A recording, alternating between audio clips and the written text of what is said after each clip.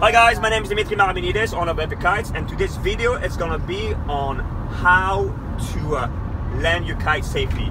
You do have many ways of landing your kite, okay, and that's one of the ways of landing your kite. What? You forgot to introduce me. Cameron, are you seriously right? Are you serious? Yes, I'm serious. Let me finish the video. I'm dead seriously. Yes, yes. What kind of English is? Anyway, that's Cameron Maramenides, as you can see. Anyway, The new owner uh, of Epic Kites. yeah. The new and improved owner of Epic Kites. Yeah. Okay. So um, this video is going to be on how to land your kite safely. Okay. Now, if you have someone on the beach, then that's the safest way to do it. Okay. You always want to land your kite with someone around. Okay. That's the safest way. If you don't have anyone around, then uh, you have different other methods of landing your kite. Okay. And that's one of the other methods I'm going to show you today on the video. Okay, Dad. So Dad, what, Cameron? enough talking. It's windy. 30 plus. Let's go kiting. Okay, we're on our way. Anyway, pay attention to this video and we'll talk to you soon. Okay, so let me take you step by step on how to land your kite by yourself, but this time using the middle line, the center line of the kite.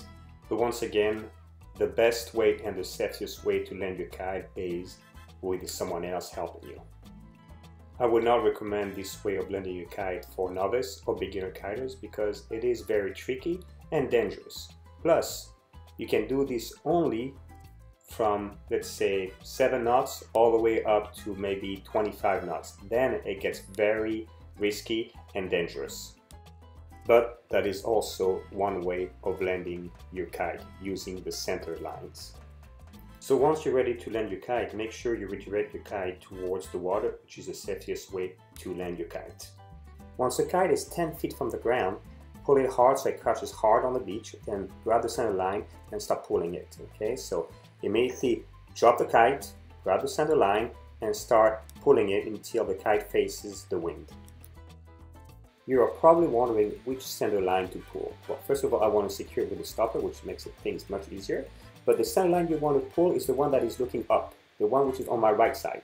Anyway, I'm going to pull left on the red bar so the kite crashes fast on the sand and then make sure I grab the correct side of the center line and start fishing the kite until it looks towards the wind. Then I'm going to run towards the kite and secure it with any object to anchor it down.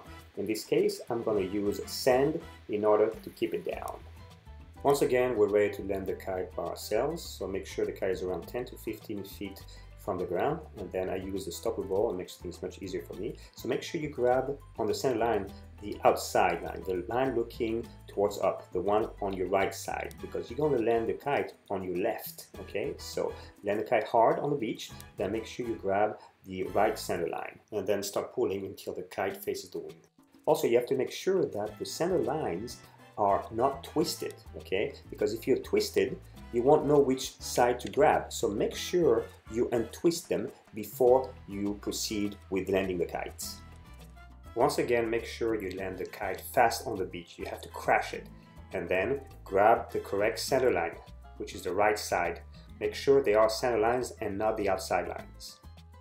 Landing your kite this way is very tricky, so I would not recommend novice kiters, especially in strong winds. This was one of the ways of landing your kite on the beach by yourself.